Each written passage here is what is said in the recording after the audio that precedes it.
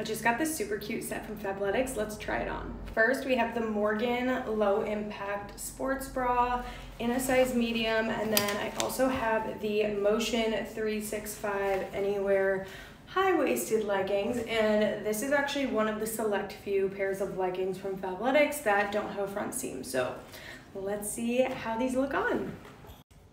Sports bra is super low impact, but it's so cute and comfortable. There are adjustable straps, which makes it really nice. I would definitely recommend this for like a Pilates or a yoga day, or honestly, just like hanging around the house or layering pieces.